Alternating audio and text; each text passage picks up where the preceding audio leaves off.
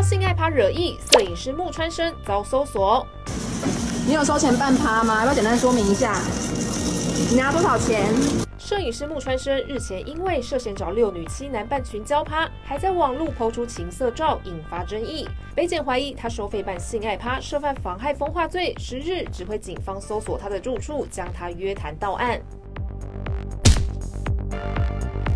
木川生除了摄影师身份，过去也当过模特儿，还曾和模特儿陈央景一起拍摄婚纱照。他日前以 IG 账号松山溪口前发表情色摄影作品，被网友爆料他以情色摄影为借口扮群交趴。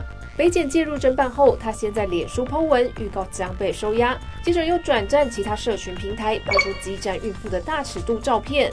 检方根据他发表的作品，找出半趴旅馆，还循线找到多名男女，怀疑他收费办性爱趴。十日发动搜索约谈。中新闻台北报道。